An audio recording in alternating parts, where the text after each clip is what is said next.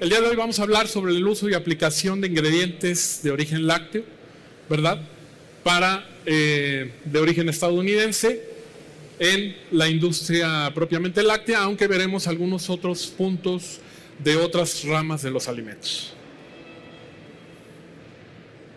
Muy bien, es la agenda que vamos a tener el día de hoy, donde hablaremos un poco de la funcionalidad de los ingredientes, aplicaciones en lácteos, quesos, yogur, leches fermentadas, bases para eh, postres congelados, aplicaciones en alimentos también como panadería, confitería, barras nutritivas.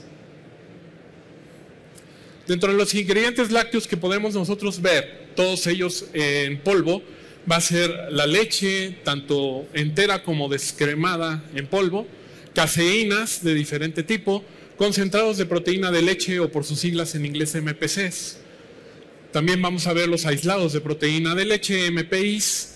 Vamos a ver también lo que son proteínas de suero, que normalmente han sido, es un producto que se ha subvalorado en la industria y que actualmente muchas universidades y muchos institutos están buscando qué hacer con ese derivado que desafortunadamente termina muchas veces en el drenaje, si bien, si bien va. Entonces vamos a tener diferentes fuentes y cada una de ellas va a tener diferentes aplicaciones. Vemos entonces el beneficio general de los lácteos en polvo va a ser, pues obviamente espacio, almacenamiento, no requieren de refrigeración y tienen una vida útil bastante interesante, algunos de ellos más de dos años, sin perder sus características. Esa es una ventaja. Otro detalle es la parte económica, porque se reduce obviamente al mover o transportar menor volumen, ¿verdad? Al momento que nosotros hagamos la reconstitución o la recombinación de estos ingredientes. Algo importante, algo importante. México no es, autosuficiente en la producción de leche fresca. De hecho, se habla dentro de las cifras oficiales de un 35%. Realmente en la industria se puede ver que inclusive puede ser hasta de un 45% de leche que no se puede producir en México o no existe esa producción. Por lo tanto, por eso es que se utilizan estos derivados. Al final también, quitar un, mito de que estos derivados sean químicos. Se parte de la propia leche para obtener estos ingredientes por sistemas físicos, normalmente filtración, ultrafiltración, nanofiltración, osmosis inversa, ¿verdad? En algunos casos hay algunos aditivos como por ejemplo las caseínas renina, donde se utiliza un cuajo, pero eso ya lo usamos también en los quesos. ¿Estamos de acuerdo?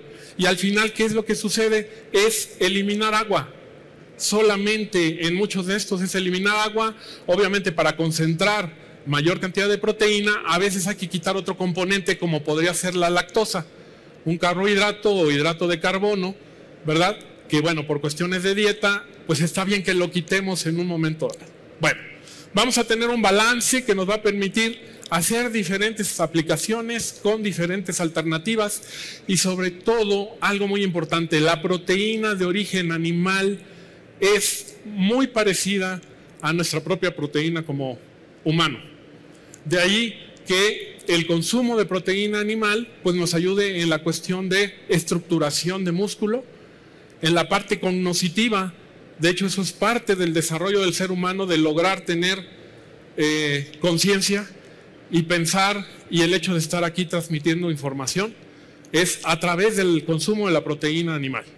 Se ha eh, empezado a hacer también el consumo de derivados vegetales, sin embargo, la cantidad de proteína que está presente ahí no cubre o no llega a las mismas concentraciones de los productos lácteos. Y hay que ver en algunos casos la cantidad de ingredientes que se les está aplicando a un producto que se considera supuestamente más sano. Bueno, altos estándares de calidad. Obviamente estos derivados de origen lácteo estadounidense pues están regulados por la USDA y la FDA y obviamente también para lograr los requerimientos del usuario. ¿Sí? Se pueden hacer productos a la medida inclusive. En uso de emergencias, obviamente condiciones adversas, pues cuando no tenemos leche fresca, Es importante, tenemos una alternativa ahí. Vamos a poder hacer formulaciones de diferentes alimentos, no solamente los lácteos, como bien les decía al inicio, panificación. Ahorita que está muy de moda las barras nutritivas, el hecho de hacer bebidas o jugos, por ejemplo, también con una proteína láctea adicionada le agrega valor.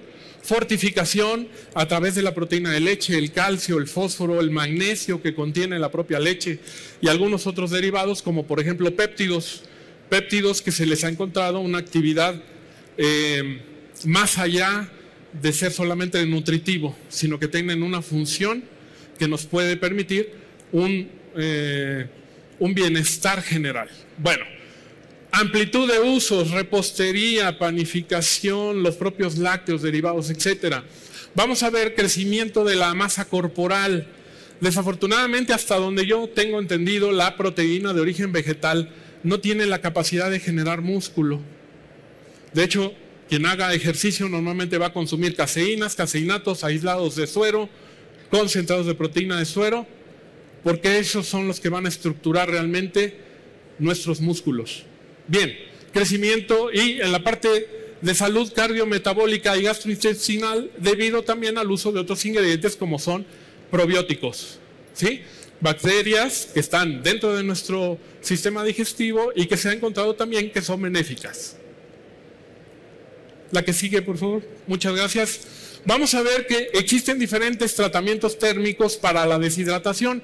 Por lo tanto, hay una clasificación en este caso de los polvos en Estados Unidos como de media, alta o baja en cuanto al sistema de deshidratación. Lo que conoceríamos en este caso como low heat, medium heat y high heat. Cada uno de ellos es mejor para diferentes procesos. En el caso de quesos, lo ideal sería que siempre fuera low heat.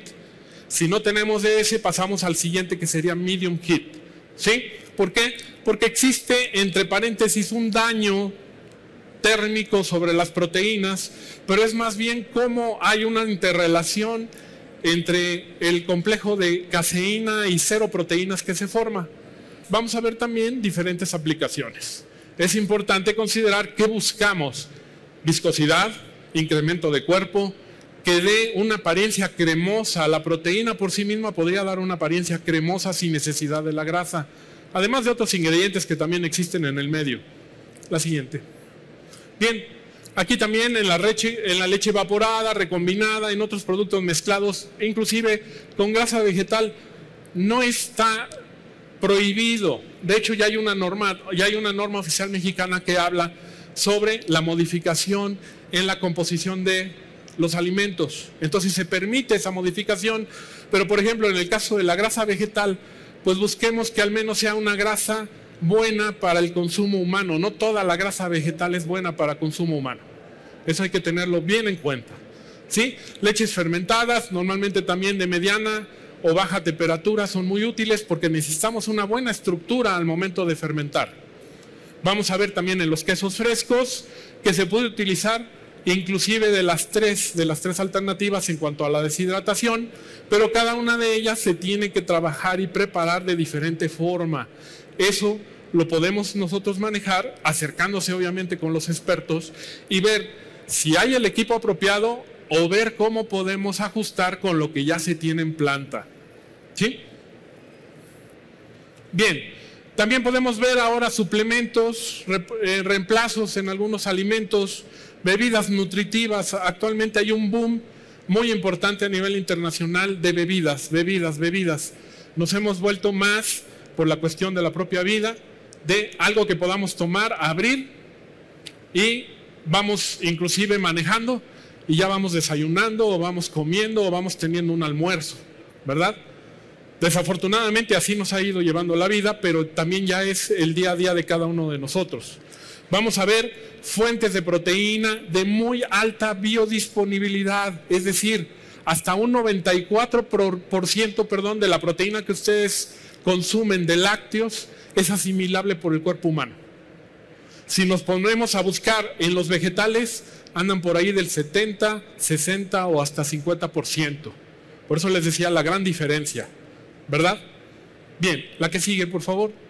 Bueno, vamos a ver aplicaciones en bebidas lácteas, yogures, cremas, vamos a tener una amplia posibilidad de uso de estos ingredientes y va a depender también del balance nutritivo que ustedes quieran. ¿Qué tanta proteína?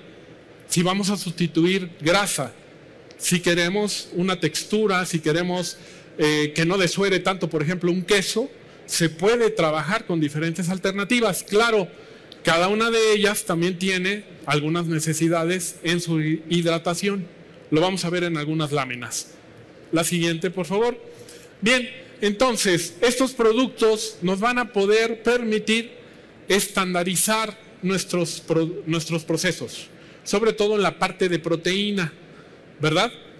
Aunque hay un pequeño porcentaje de grasa que también es muy benéfica para el ser humano. De verdad, yo los invito a que leamos un poquito sobre la grasa de origen animal, la grasa en este caso de leche de vaca o de algún otro ganado, ¿verdad? Y vamos a ver la gran cantidad de funcionalidades que tiene. Bien, vamos a poder modificar, bueno, las formas de obtenerlos, ultrafiltración, cristalización, desmineralización. Se pueden obtener productos con proteína del 12 hasta un 19%, 90%, perdón. Minerales, en este caso calcio, fosfatos, desde el 1 hasta el 28%. Podemos modificar las condiciones nutritivas y funcionales. Es decir, no solamente existe la leche descremada en polvo, que es la que más se comercializa en México. Hay muchas más alternativas. De hecho, ahorita se está utilizando mucho lo que son los concentrados de proteína de leche o MPCs, Milk Protein Concentrate, ¿verdad? Dependiendo el grado de proteína que se requiera, que puede ser desde 56, 70, 85. Si queremos arriba de eso, podemos ir con aislados de proteína que pueden llegar hasta un 95%. Se está trabajando también ahora con proteína hidrolizada, ¿verdad? Que nos va a dar diferentes características en uso y en aplicación. Bien, la incorporación de estos ingredientes pues nos va a permitir agregar aminoácidos esenciales. ¿Por qué? Porque una proteína son cadenas de aminoácidos. El, el, cuerpo humano requiere al menos de tres aminoácidos que no puede sintetizar por sí mismo. ¿Sí? Entre ellos hay triptofano. La leche y estos derivados en polvo son ricos en triptofano. Bien, porque son esenciales, son necesarios para la vida. Vamos a ver también que son fáciles de digerir, ya les explicaba, hasta un 94%.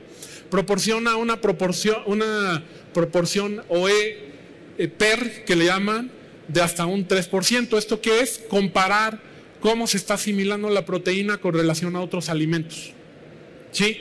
En una escala que va a 4. Entonces, si ya estamos en el 3, imagínense el potencial que tiene.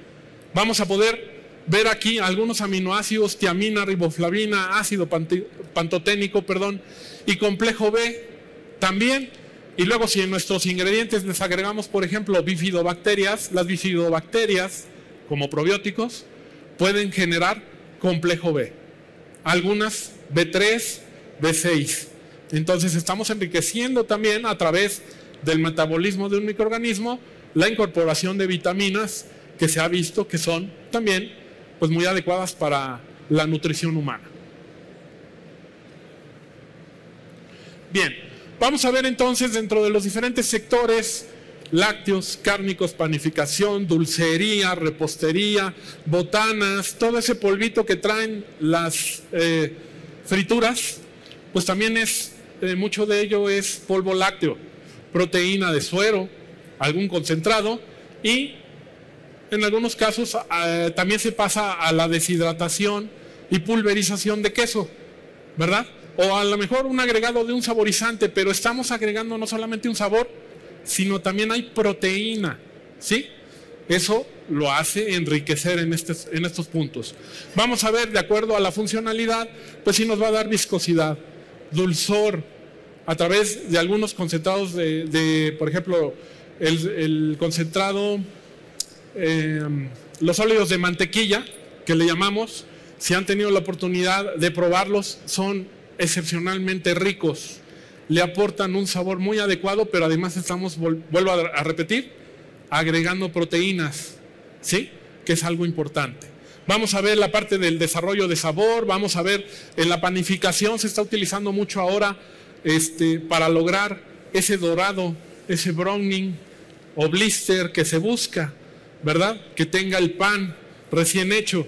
Vamos a ver la parte de nutrición, la parte de compuestos bioactivos. Esta parte ya tiene mucho estudio y hay muchas alternativas para agregar y darle un plus a su producto.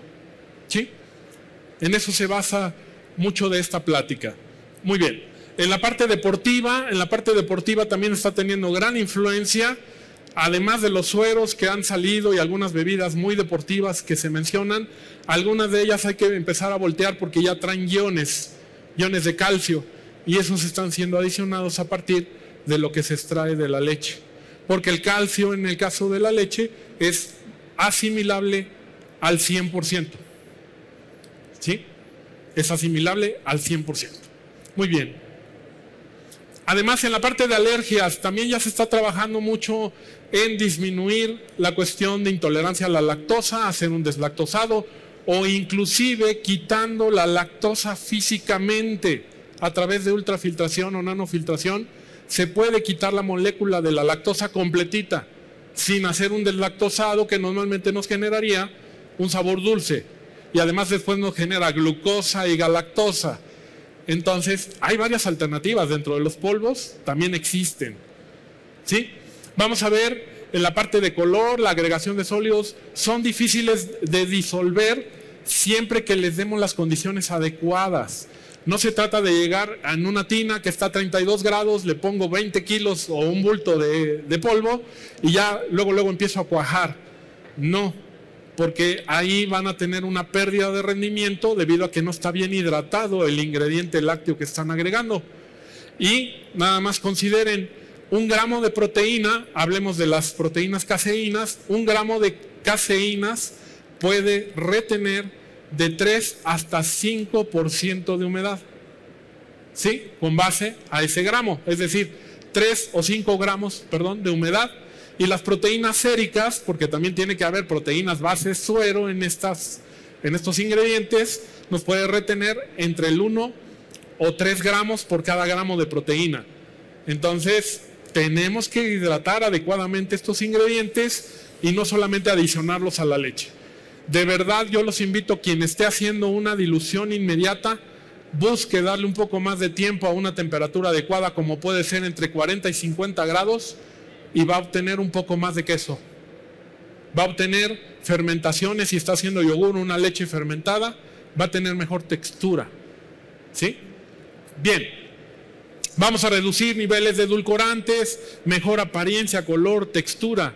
Vamos, son ingredientes funcionales, de ahí el título de esta conferencia. No los veamos solamente como polvos lácteos y se trata de abrir el abanico de ingredientes que existen realmente en el mercado. La siguiente. No nos vayamos muchas veces también por el costo. Entendamos que está deshidratado y por eso nos los venden, no sé, 100, 120, 150 pesos el kilo. Pero después hay que hacerlo como leche equivalente ¿verdad? Ahorita eh, hay escasez de leche, pero además se ha incrementado mucho el precio. Entonces, el hacer un híbrido es válido. De hecho, la normativa lo permite hasta ciertos niveles. No puede ser este, a diestra y siniestra. Creo que eso es algo ético. Solamente hay que voltear a ver las normativas que existen. Bien, en el caso de suero dulce, porque hay también suero ácido. El suero dulce nos va a permitir en los helados, en la panificación, en la parte de repostería. Concentrado de proteína de suero o whey protein concentrate, vamos a ver fuentes de proteína para solubilidad, desarrollo de color y allá las aplicaciones. WPC 80, la diferencia es que este tiene 34% de proteína y este 80, a eso se refiere ese número. Hay que revisar las especificaciones de lo que compre. Hay que revisar que sean envases originales, ¿verdad? Porque desafortunadamente esto se presta pues también a ser adulterado, ¿verdad? Entonces, siempre busquen que sea un proveedor confiable. ¿Estamos de acuerdo? Bien, siguiente. La lactoferrina, que es uno de los ingredientes que está presentes, pero además ese pequeñas cantidades, desafortunadamente la leche es un alimento completo, pero no es el alimento perfecto porque le falta hierro. Si tuviera una buena cantidad de hierro o lo adicionáramos, sería un alimento casi considerado como perfecto. ¿Sí? Y lo pueden ver en mucha literatura, así lo mencionan. La lactoferrina se ha visto que tiene una actividad antibacterial. ¿Verdad? Entonces se está utilizando ya en algunos suplementos o complementos alimenticios. Vamos viendo que también se pueden obtener los diferentes componentes de la leche por separado y cada uno de ellos va a tener una funcionalidad de acuerdo a donde ustedes lo vayan a trabajar. Por ejemplo, la lactosa, la lactosa la consumimos mucho y no nos hemos dado cuenta. Se utiliza como agente de fluidez, es decir, para cuando están empastillando o están generando las cápsulas, se agrega un poco de lactosa, nada más que como no es dulce, es muy bajo el poder edulcorante, no lo percibimos. Puede ser que por ahí le esté dando algún malestar al consumir un medicamento y sea por la presencia de lactosa. Más que por el compuesto activo. Bien, transporte de hierro en la dieta, muy importante para la cuestión de la sangre, la oxigenación, etcétera, etcétera. También como un antioxidante, ya vemos ahorita que hay una tendencia muy grande de utilizar cualquier producto test, arándanos, y un sinfín de, de ingredientes alimenticios que sean antioxidantes. Entonces la leche también tiene ese tipo de compuestos, ¿verdad? Claro, habrá que ver la concentración presente para ver si realmente tiene una funcionalidad en estos casos. Bien, aislados de proteína de suero, un alto nivel proteico, son muy fáciles para formular sin presencia de lactosa. ¿Sí? Entre las caseínas y las proteínas de suero, los WPCs o los, o los derivados de suero en polvo tienen todavía una mayor asimilación mucho más rápida por el cuerpo humano. Vamos a ver productos de suero desmineralizado, porque ese es a veces el problema. Por eso mucho del suero que se genera en la industria láctea se desecha porque tiene muchos minerales, no lo podemos consumir directamente. Como les digo, es algo que se está trabajando actualmente en las universidades, ¿verdad? Tengo yo también un grupo de alumnos trabajando en esto y de hecho se están uniendo con la industria porque es un grave problema ecológico y se quiere buscar también la sustentabilidad ahora que está también, y no quiero decir que sea una moda, creo que es algo que viene muy fuerte y debemos de cambiar mucho la perspectiva de ser amigables y de que nuestro, nuestro proceso no genere más costos. ¿Sí? Y, actualmente quien haga queso, el desecharlo es un costo y no lo estamos viendo. Y estamos dejando ir una proteína de muy alta calidad. De verdad, muy alta calidad. Bien, proteínas bioactivas o fracciones de suero, estimulación del crecimiento de probióticos. ¿Sí? Ya los tenemos aquí. Nada más se lo consumimos nos va a dar mejoramiento en el transporte del hierro, etcétera, etcétera. Siguiente. Bien, la lactosa ayuda a retener algo de humedad, agente de textura, agente de fluidez que ya les había recomendado, comentado, perdón. Recubrimientos, eso se está utilizando también, como les había mencionado, en panificación. En lugar de ponerle huevo, por la cuestión de la alergia, pues se puede utilizar la lactosa. Vamos a ver, suero con concentración de minerales reducido en lactosa también existe. Es cuestión de acercarse con los proveedores. Vean allá, pues les pongo esa imagen que creo que el envase es muy reconocible de bebida deportiva. Pues también ya se están incorporando. Eh, yo, yo he seguido mucho y tengo contacto con gente de instituciones educativas en Brasil. Y en Brasil es ya una realidad el gran uso que le están dando al suero para diferentes alternativas. ¿Sí? Y no solamente usarlo para hacer más leche porque es válido, sino para bebidas, para postres, para panificación. Le están dando un uso intensivo buscando precisamente evitar lo que ahora le llamamos huella de carbono, ¿verdad? que está relacionada con el cambio climático y la relacionamos directamente con contaminación ambiental. Bien, listos para ser absorbidos por el cuerpo humano. fuente de calcio biodisponible, ya les mencionaba hasta un 100%. Siguiente, por favor, gracias. La hidratación de los ingredientes, hay que tomar diferentes condiciones, 30 minutos, 40 minutos, 50 minutos. Ortodoxamente debería de ser 12 horas, 14 horas, pero por la rapidez, con media hora, siguiendo ciertos grados de temperatura, logramos, de acuerdo al tipo de producto WPC, MPC, etcétera, logramos una buena hidratación y que al momento que coagulemos o fermentemos no tengamos pérdida de proteína. Siguiente. Aquí lo podemos ver rápidamente en esta gráfica, dándole el tiempo adecuado, agua a 50 grados, por ejemplo, un, este, agua caliente, perdón, y un producto como es, en este caso, MPC 85, muy alta concentración de proteína, pues tenemos un buen proceso, mientras que si lo queremos hacer a 25 grados, agua a temperatura ambiente, no le quiero gastar un poco la energía, pues vamos a tener una baja cantidad de proteína realmente hidratada. Proteína que no esté hidratada no ayuda tampoco a la acción de la enzima para coagular, por ejemplo. Siguiente, por favor. Bien, reemplazo en las comidas, bebidas deportivas, batidos, aguas. Tés también se están adicionando de proteínas, son muy ricos en antioxidantes. Bueno, ¿por qué no le ponemos también algo de proteína, no? Cafés, bebidas carbonatadas, bebidas funcionales.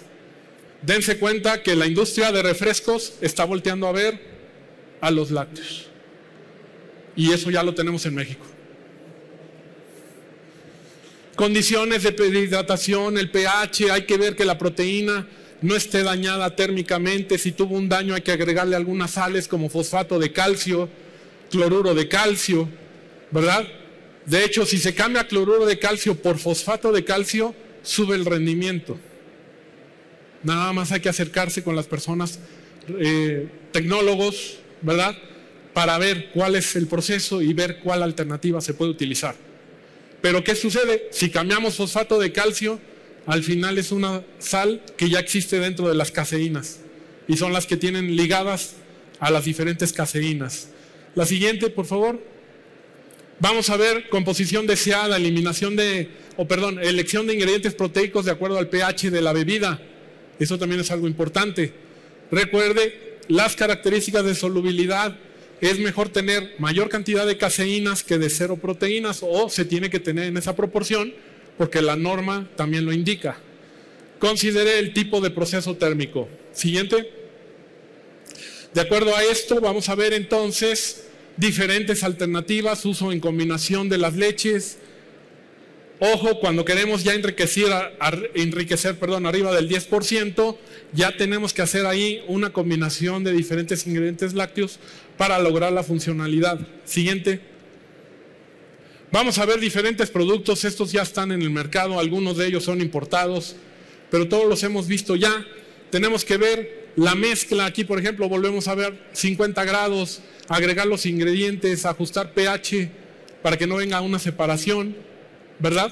Calentar a 140 grados Celsius durante 3 o 6 segundos. Es un proceso tipo UHT, ¿verdad? O de ultra alta pasteurización. Homogenizar para lograr la correcta estructura y seguir. Siguiente. Aquí vemos también el uso de permeados. Esto es algo que en México todavía no está muy presente porque se requiere el equipo de ultrafiltración. El permeado es lo que se va separando, además del líquido y de otros componentes. Entonces también se puede agregar. Y miren la gran cantidad de productos que ya hay en el mercado. Helados, paletas, postres. Siguiente, por favor.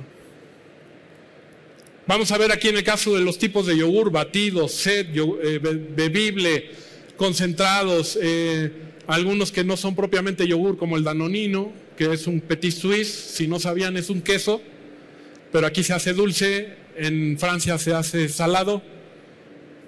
Yogur griego, que también ya está en el mercado, ha ido ampliando su capacidad de estar presente en las góndolas, yogur congelado y otros ingredientes, las funcionalidades que tenemos. Siguiente. Ojo, la hidratación es muy importante si no vamos a tener pérdida de proteína. Nos va a dar defectos de granulosidad o de grumos. Cuando tenemos estos defectos hay que buscar a ver qué pasó en el tratamiento térmico y qué pasó durante el tiempo de hidratación.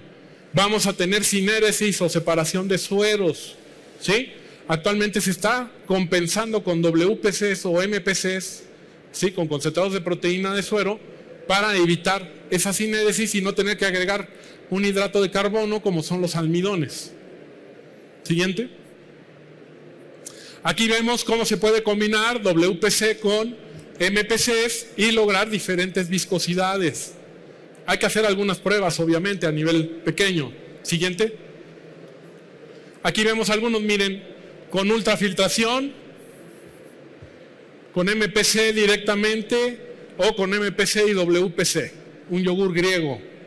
Siguiente. Vemos aquí otros productos donde tenemos MPC de este lado, WPC de aquel lado. Simplemente hay que considerar la normativa y cumplir con el etiquetado, la NOM 051, o como les mencionaba, la normativa que menciona sobre modificación de ingredientes en algún alimento. Siguiente. La parte de postres congelados, el famoso helado suave que vende una cadena de, de comida rápida, ¿verdad? de hamburguesas que se hizo muy famoso al grado de que muchos de los locales sacaron mejor la maquinita del helado a un lado porque adentro se hacía más cola por el helado que por las hamburguesas, ¿verdad? Todo un desarrollo en una universidad. La siguiente. Vemos ingredientes también ahí, suero de leche, miren, para un helado. Además de otros ingredientes, algunas gomas que son necesarias para el proceso. MPCs, MPIs o aislados de proteína de leche, caseínas, mejoran la estabilidad térmica cuando es alta concentración la que usamos. Alta capacidad de unir agua o de retener agua. Su hidratación es crítica. ¿Por qué? Porque estamos teniendo una proteína muy concentrada. ¿Estamos de acuerdo? Bien, recuerde, las proteínas del suero no son estables al calor, ¿verdad? Sabemos que si calentamos el suero se obtiene requesón. Pero también ya hay sueros termoestables que se podrán pasteurizar sin que exista esa separación de proteína. Tener en cuenta el punto de congelación si vamos a hacer helado para evitar que nos quede algo muy duro. ¿Sí? Va a depender también del equipo de mantecado o el que genera el helado. Siguiente. Proteína de suero, vean, 5% de proteína, 12% de proteína, ya vemos MPCs con aislados de, proteína de leche también. Estos ya son postres congelados, pero vean, hay gran variedad y diversidad en cuanto a la concentración de proteína. Siguiente. Panificación, productos dulces, panes, galletas, galletería, WPC en mezclas, en pasteles, magdalenas, galletas suaves, funcionalidad, sabor, migaja, que sea suave, ¿verdad? la parte interna Muchas veces vemos que le quitan a la torta o al bolillo la parte interna, dice el, panadero que eso es lo mejor. Y se lo quitamos. WPC también. Todos ellos van a tener diferentes funcionalidades. Hay que acercarse con los expertos para ver cuál es lo que ustedes quieren resolver. Siguiente. Permeados, estos ya son por ultrafiltración en caramelos, en café, recubiertas, en los chocolates. Vamos a buscar color, dulzura, que nos haga espuma. Los cafés ahora que vienen que con una maquinita hace capuchino, pues es realmente que tenemos proteína. Las proteínas generan mucha espuma. Y si no vacíen así un vaso de leche simplemente fría, inmediatamente forma espuma. Y estando caliente, olvídense, peor todavía. Pero es parte, es parte del, por qué o del encontrar el uso. Siguiente. Bien, aquí los diferentes aislados también para coberturas, las barras que les mencionaba al inicio. Hay muchas alternativas. Las fuentes de información, pues está el US Dairy Export Council. Aquí tenemos algunas otras. Como les digo, este material va a estar este, disponible, se los podemos enviar vía correo electrónico sin ningún problema. La siguiente, otra página que pueden consultar también. Hay mucha información, alguna de ellas es en inglés. Nos falta desarrollar literatura en español, ¿verdad? Y casi quisiera yo decir en español mexicano, o sea, en México nos falta generar mucha literatura de productos que hacemos aquí. Siguiente. Bien, por último, por favor, son una excelente alternativa ante la escasez de leche fluida. No estamos en contra, que quede claro, no estamos en contra de la producción primaria. Quisiéramos ser autosuficientes. Si conocen eh, Uruguay, por ejemplo, hay más vacas que seres humanos. Creo que hay alrededor de 10 vacas por cada persona que vive en Uruguay. El tamaño de Uruguay hay que compararlo con México. No es posible que no podamos ser autosuficientes. Por favor, hay que estar viendo los precios. A veces es conveniente tener por ahí en alguna oferta o en algún precio adecuado contra el precio de la leche fluida este tipo de ingredientes, ¿verdad? Y pues no escatimar en, la calidad de los ingredientes. Queremos buena calidad, pues hay que utilizar ingredientes de buena calidad. Es bien simple la regla. Y si hubiera algún matemático, probablemente hasta con una fórmula lo podría expresar. Mis datos, los datos, la página del USEC. Y pues agradecerles a todos, agradecerles a los organizadores y también a USEC pues la oportunidad de estar aquí ante ustedes impartiendo esta charla. Muchas gracias.